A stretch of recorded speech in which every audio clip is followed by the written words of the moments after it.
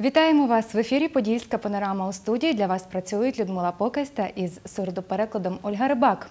Про що йтиме мова у Подільській панорамі? Дивіться в анонсі. Подільський делікатес. Чому на Хмельниччині зростає ціна на гречану крупу? Відпочинок без проблем. Рятувальники навчають дітей правил безпечного дозвілля. Подвійна перемога. Хмельницький силач став першим на столичному турнірі з пауерліфтингу. У Хмельницькому можуть з'явитися два нових заводи. Про це повідомляють у міській раді. Цього тижня у мерії зустрічалися із іноземними інвесторами. Італійські підприємці запропонували проект запуску у місті сміттєпереробного заводу. А німецькі фахівці представили проект із будівництва сучасного заводу дрібної побутової техніки. Тепер місцеві посадовці мають віднайти земельні ділянки для будівництва. Гречка знову стає делікатесом. Ціни на корисну та багато на мікроелементи і вітаміни крупу черговий раз стрибнули догори. Чим обґрунтована висока вартість гречки? Наші кореспонденти досліджували ситуацію на ринку. Гречка вже давно стала політичним продуктом. На базарі вона випереджає за швидкістю зростання цін навіть іноземний рис. Від 32 гривень за кілограм гречаного проділу до 50 гривень за білу гречку. Тож не дивно, що такі корисні, зокрема для дітей та незамінній в дієтичному харчуванні крупі, люди змушені собі відмовляти. Якщо б зарплата хороша була, так хоч би було 3-4 тисячі зарплати. Ну, ще можна купляти, а так ми його не купляємо. Сою сіють. Якби було більше гречки, то би була дорожча, дешевша. Біля вашого села посіяли сою? Кругом соя.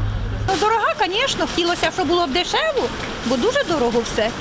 Якщо й купують гречану крупу, то частіше її коричневу січку. Натуральна гречка, вона по своїй природі дуже м'яка і її дуже багато б'ється. І от виходить від цієї гречки це проділ називається. Вона б'ється і через то виходить така мілка фракція. Перепродаю, я купую в виробника і продаю собі по своїй ціні. І вона перероблена, але наших фермерів, наших місцевих виробників. Це нам пояснюється тим, що на ринку дуже мало гречки.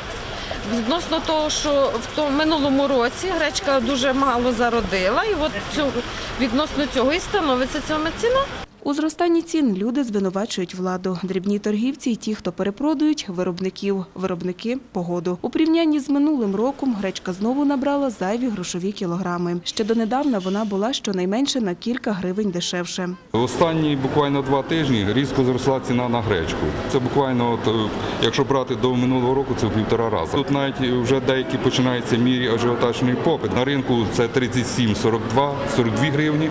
А якщо взяти по супермаркетах, то теж у діапазоні вже 36, 48, навіть 50. Заходи вживалися до е, монополістів на цьому ринку. Житомир, наприклад, е, е, київські виробники.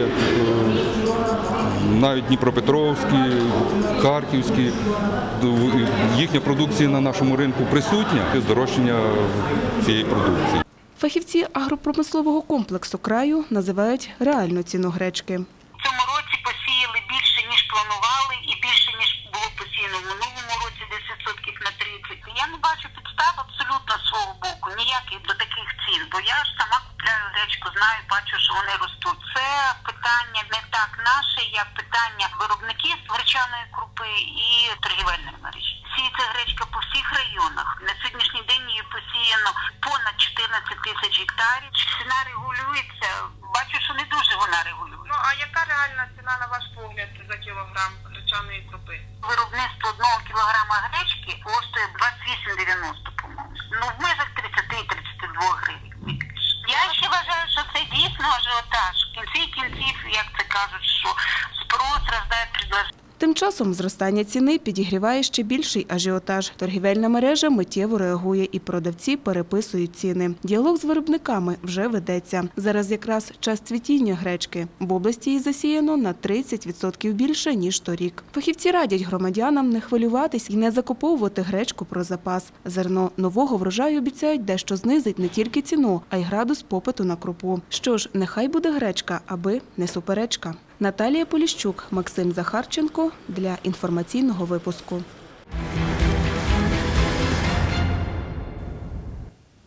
Відпочинок без проблем. Рятувальники області навчали дітлахів правил безпечного дозвілля. У палаці творчості школярам обласного центру розповіли правила поведінки на воді та у лісі, а ще вчили розрізняти вибухонебезпечні предмети та навіть дозволили приміряти протигаз. Сьогодні ми зібрали е, близько 80, діт- 80 дітей з пришкільних таборів міста Хмельницького і на базі чотирьох навчальних точок роз'яснюємо їм основні правила безпечної життєдіяльності. Як ви бачите, все відбувається в ігровій формі, формі е, вікторин, конкурсів, формі бесіди. Діти е, участвують в цьому навчальному процесі, їм цікаво, отримують сувеніри, отримують листівки і так, так на практиці знайомляться з правилами безпеки життєдіяльності.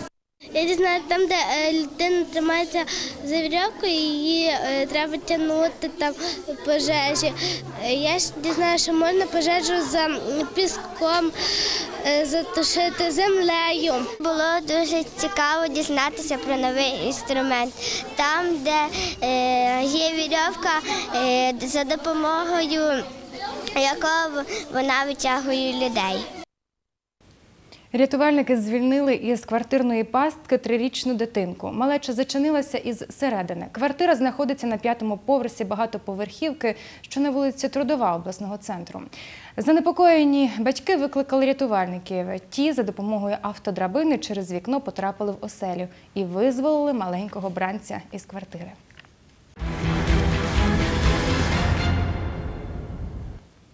Перформанс із жертвами влаштували громадські активісти та поліціянти в центрі Хмельницького, аби привернути населення до ДТП за участю велосипедистів. Перехожих буквально шокували видовищем із трьома імпровізованими аваріями на перехресті вулиць Проскурівської і Свободи. Чи вдалося достукатися до свідомості порушників правил дорожнього руху, знає Юлія Стафурова.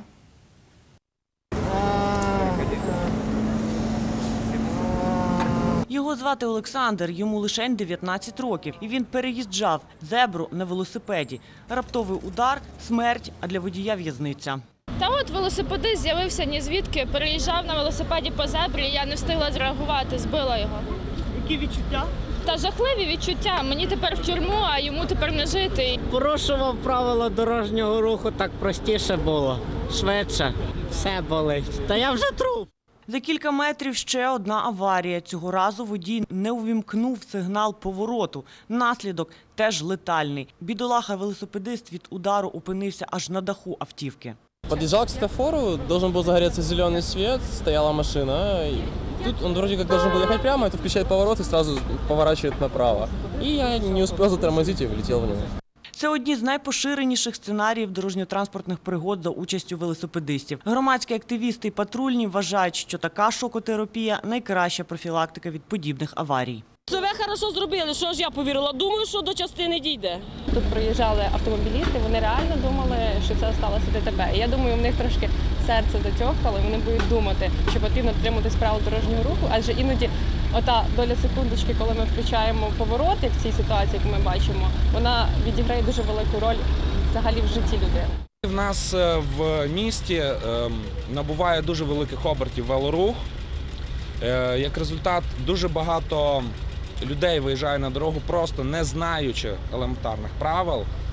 От, е, таким чином ми думаємо, е, стараємось достучатись до них, щоб вони е, почали ці правила, хоча б переглянули разок другий, і тоді вже буде, будуть набагато впевненіше відчувати себе на дорогах і знати, як поводитися себе в тій чи іншій ситуації. Акція неодноразова, обіцяють організатори, бо, як кажуть у народі, в нас є дві біди – дороги і дурні. Наступний наш захід е, пов'язаний вже з тим, щоб е, навчити водіїв. Ми плануємо провести курс лекцію для того, щоб попереджувати ось такі е, ситуації надалі. Також наступна ідея з пішоходами, автомобілістами, велосипедистами і людьми з обмеженими фізичними можливостями. Юлія Стафурова, Володимир Саприкін для інформаційного випуску. Далі подільській панорамі про таке.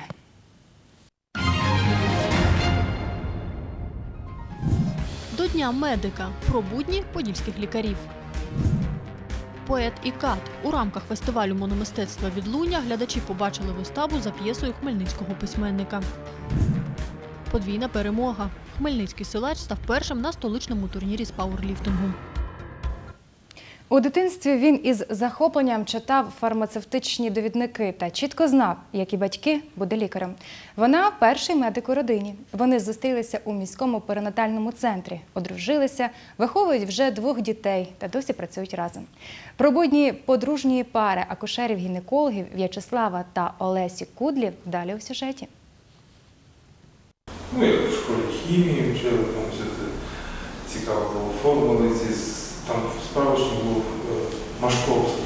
Це лікар Хмельницького міського перинатального центру В'ячеслав Кудла. Підлітком вже мріяв бути медиком. Щоправда, не гінекологом, а урологом. Проте доля склалася інакше. Лікар і досі згадує, як перелякані жінки у поліклініці, дізнавшись, що прийом вестиме чоловік, розбігалися навтюки. Найбільш пам'ятні це перше було. Там запам'яталось все. Зараз, з сьогоднішнього дня, з, скажімо, з висоти сьогоднішнього досвіду, то нічого в них такого не було, були звичайні. Але помниться все. А це Олеся Кудла, лікар кабінету планування сім'ї та лікування безпліддя. З В'ячеславом познайомилася, коли була ще інтерном. Тепер у них одна сім'я, одне прізвище та двоє спільних дітей. У нас є е, спільні знайомі, спільні інтереси, спільне життя і спільна робота. І як на мене, це е, ну, набагато, як для мене, покращує якість нашого життя. Пологи він не приймав, тому що, ну, як правило, це не заведено приймати пологи у рідних, тому що все-таки це стрес так, для е, людини рідної, близької. А це сайт, де краяни лишають відгуки про хмельницьких акушерів-гінекологів. Виявилося, інформацією на порталі медики і самі цікавляться. У подружжя рейтинги високі, пацієнти від них у захваті. Ну, який у вас такий підхід, що про вас все гарно пишуть? Ні, там є і негативні, Один. але є. Що ж, скромність не лише прикрашає лікаря, а мабуть, також є рецептом для вдосконалення впродовж всього життя. В першу чергу бути людиною. Світлана Русіна, Дем'ян Цегольник для інформаційного випуску.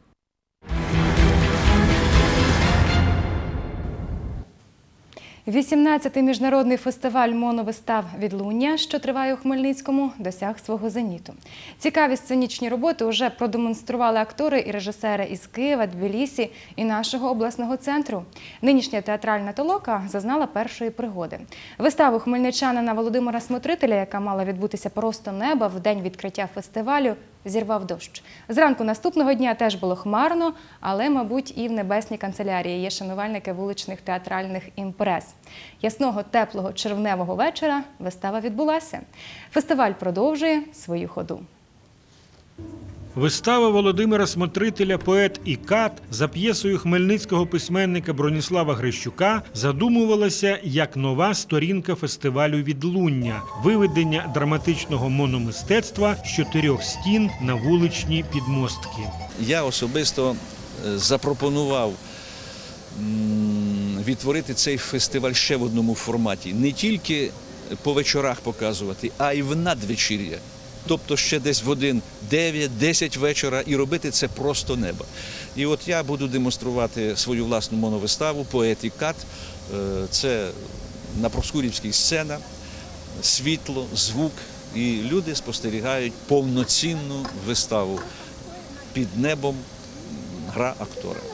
Володимир Смотритель грав поета і ката на вулиці Проскурівській поблизу дитячої музичної школи номер 1 Хмельницькі глядачі доволі прихильно поставилися до запровадження вуличної форми театрального мистецтва. Це нова форма зустрічі з глядачем, слухачем. Взагалі він може е, сприймати по-іншому все дійство, може навіть е, змінити точку бачення цього всього, стати з одного місця з другого.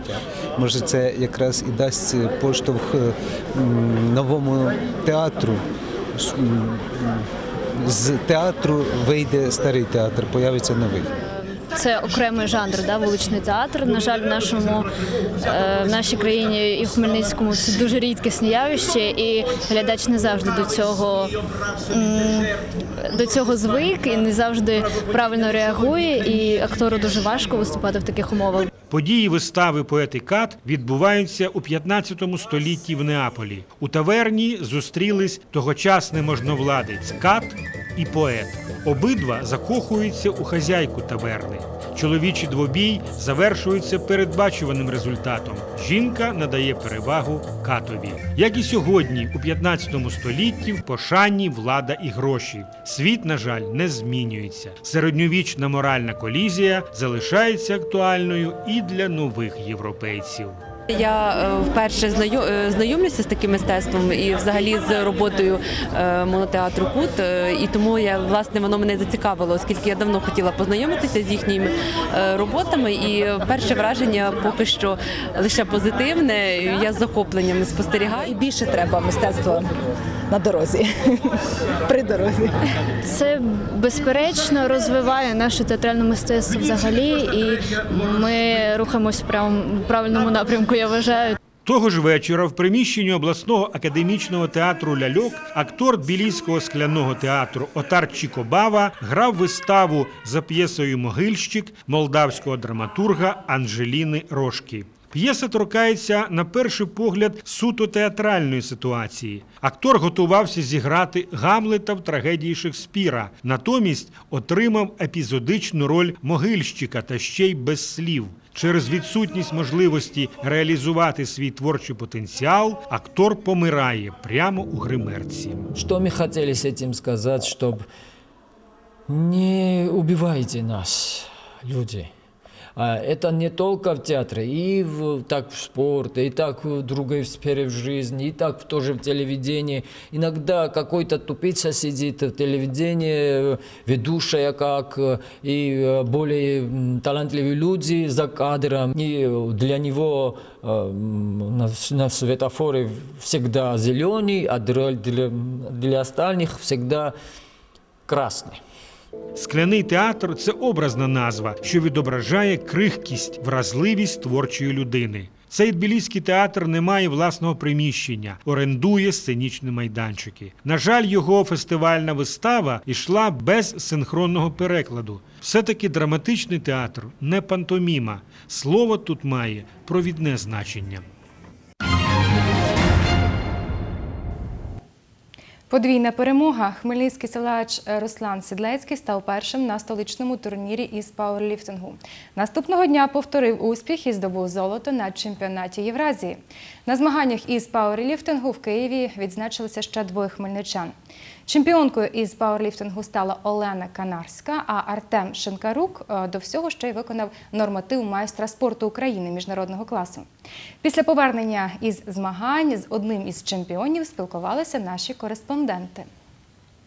Хмельничанин Руслан Сідлецький був одним із організаторів міжнародних турнірів у столиці та утриматися від участі в них не зміг. Каже, звик показувати результат, а не сидіти на лавці та дивитися, як це роблять інші. На момент змагань спортсмен мав травму ноги, тож виступити в усіх вправах не міг фізично. Та ті, які виконав, оцінили на відмінно.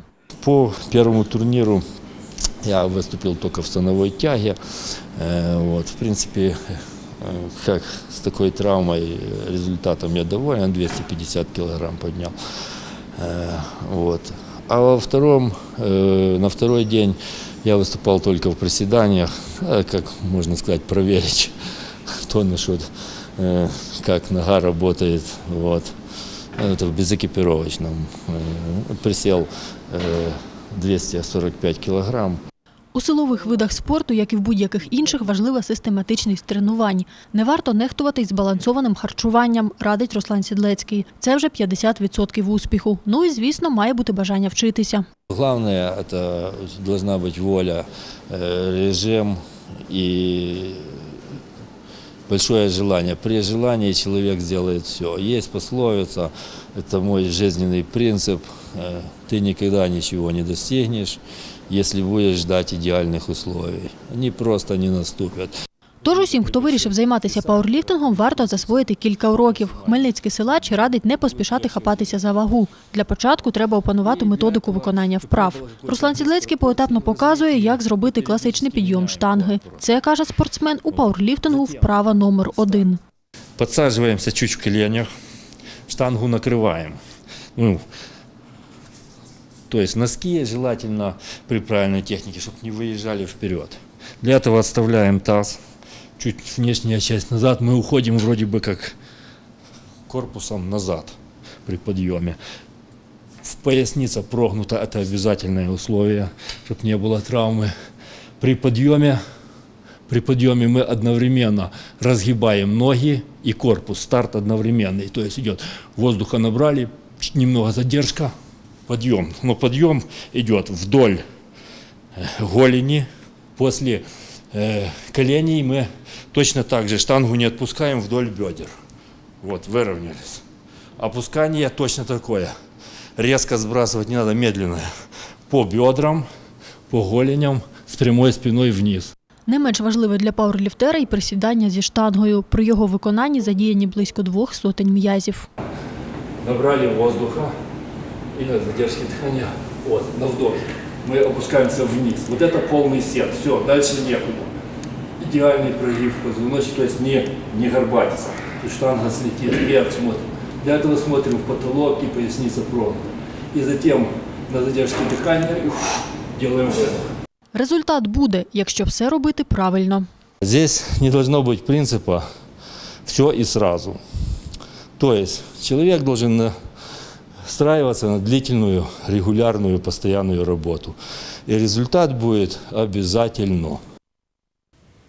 У Самчиках Старокостянтинівського району триває обласний етап всеукраїнської дитячо-юнацької військово-патріотичної гри «Джура». Участь у ній беруть 26 команд, а це близько трьох сотень учасників. Усі вони є переможцями міських і районних етапів змагань.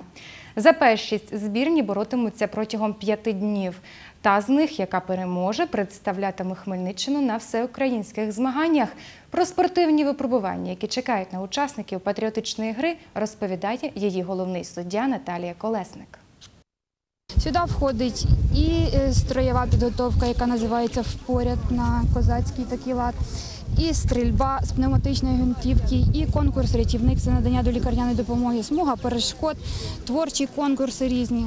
Багато тут у нас цікавих конкурсів. Кожен по-своєму складний. Це якщо ватра, відповідно, потрібно вміти і там, ну, якщо ти вмієш співати, танцювати, показувати якісь бойові мистецтва, звичайно, це буде оцінюватися. Чим краще в тебе майстерність, тим більше оцінку будеш мати. Строєва підготовка теж складна, кожен по-своєму складний. І Ще в п'ятницю нас очікує теренова гра. Це гра, е, яка відбувається в лісі. Е, Діти діляться табори і шукають е, табір противника, захоплюють прапор його. І ввечері цікавий ну, нічний квест на території палацу Самчики очікує дітей в п'ятницю. На цьому ми завершуємо подільську панораму. На все добре.